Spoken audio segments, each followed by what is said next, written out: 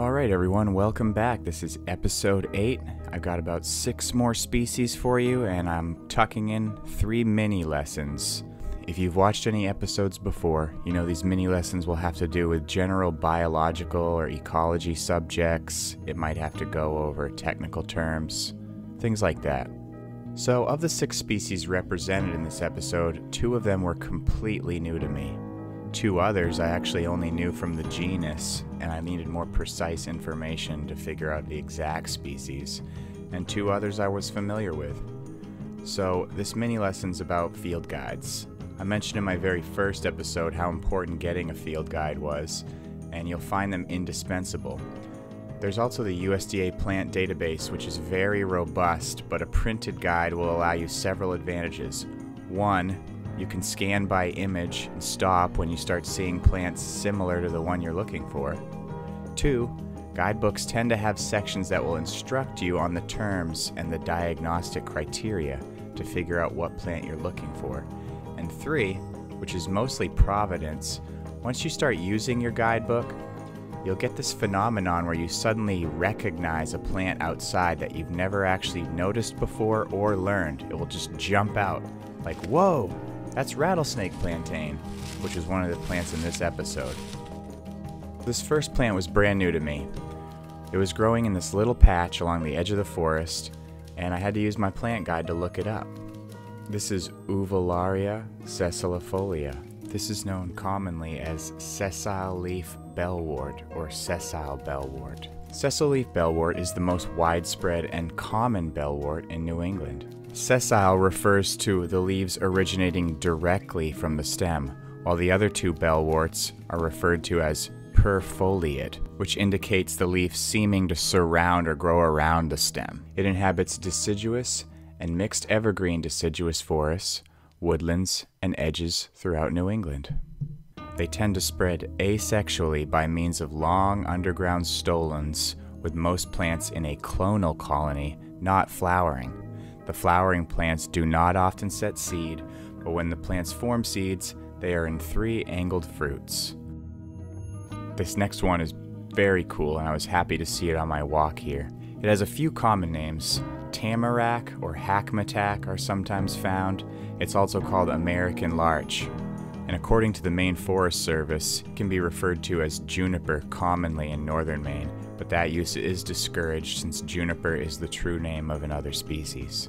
It's most commonly found in cool, swampy areas, but can grow on well drained soil. It is not tolerant of shade, so you won't find it crowded out in the understory. These specimens are rather young, but this tree can get up to 50 to 60 feet in height and around 20 inches in diameter. This is the only native conifer that sheds its leaves, distinguishing it from its evergreen cousins, and it turns a beautiful yellow in the fall. In fact, it's one of the last sources of fall color after most other trees have dropped their foliage. The wood is very hard, strong, and durable, and it is still used for planks, timbers, signposts, and pulp by modern foresters. While historically, the knees, which are buttresses formed by large roots, were used in shipbuilding. Now, this one barely jumped out to me on the edge of the trail, and I needed my plant guides to figure out exactly which species it was.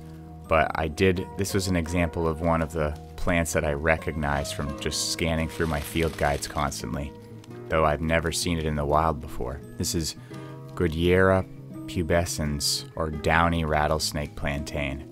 It's a perennial orchid and a creeping plant that divides on the ground surface, sending out short stolons. It may be terrestrial, or occasionally what's called epipetric, or growing on rock shelves. It prefers mildly to moderately acidic soils, such as in oak heath forests, and is threatened in some states around this country, so you don't want to try to transplant these or move them. They don't do well, anyways, if you disturb the soil. Alright, here's another one where I recognized the genus, but I wasn't sure exactly what species it was. Um, so I needed to use my plant guide as mentioned in the first mini lesson and slowly go through the characteristics to compare them to the other species.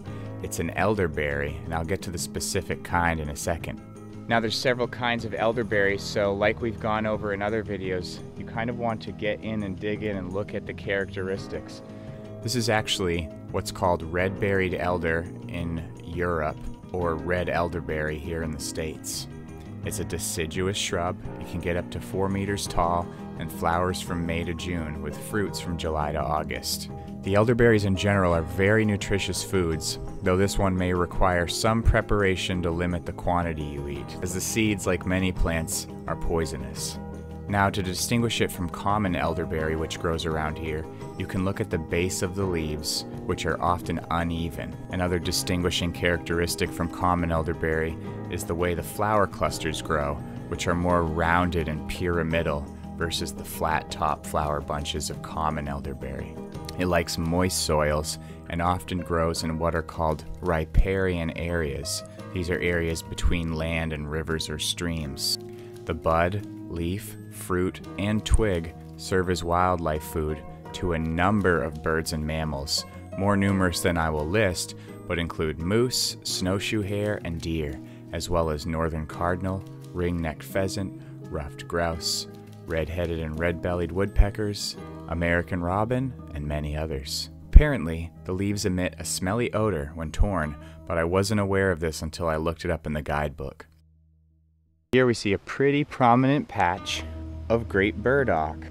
This is another non-native species that would have been brought over. It's got the infamous sticky burdocks that stick to your clothes or your dogs and it's got a really deep and nutritious root that you can dig up. Now depending on what you're gathering the plant for, let's say it's the flowers or the fruit, or in this case the root, that's going to affect when you're gathering the plant. So for here, because it's the root we want, we want to get it when a lot of the energy's still in the root. And as this plant becomes huge throughout the year and more of its energy goes into the tissues of the vegetation, the root is going to become less desirable. It's going to become harder and more woody. And then maybe through the fall and winter it will fatten back up. You'd want to dig this thing up earlier in the year. So maybe right about now. Takes a fair bit of effort because the taproot can go very deep. Perhaps in another episode we could talk about gathering ethics. Maybe this patch wouldn't really matter, but in general when you're gathering plants, you need to have an ethic of longevity in your thinking. You don't want to gather everything, maybe only like 20, 30% of a certain patch, and then you would remember that and map that out in your brain for the next year. There's some seeds from the last year. Sometimes they're so sticky they can even stick to your skin. They have teeny little hooks that are supposedly were the inspiration for Velcro.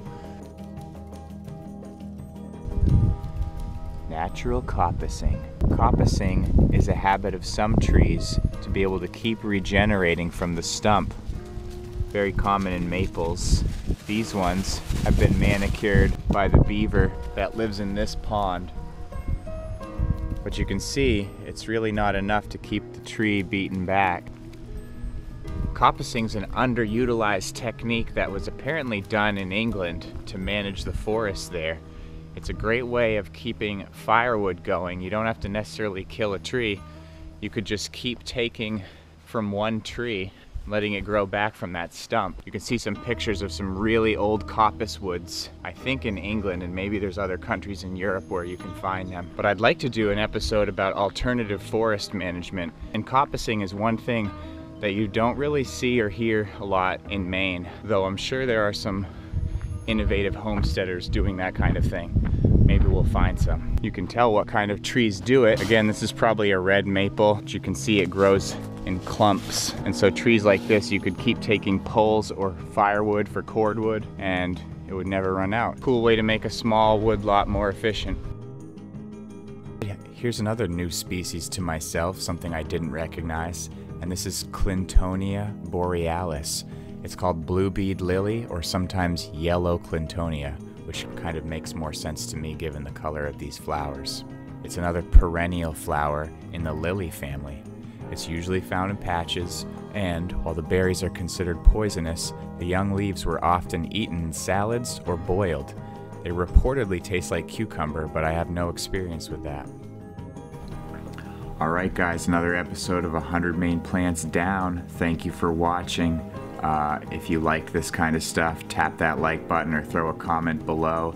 It helps the algorithm recognize that this is content people want to see. Uh, YouTube doesn't give me any favors. I've been doing this for about four years, not always consistently, but only like a hundred and something subs in four years, and that was my first goal was to break a hundred. So I appreciate you guys. It's been going a lot quicker this year, probably because I've been more consistent. So thank you again. Um, I think I've been making way too many comments arguing with shills and idiots about all the stupid stuff that's been going on the past couple months. So yeah, I might be shadow banned or suppressed at least, but who knows. Anyways, thank you again. Peace out.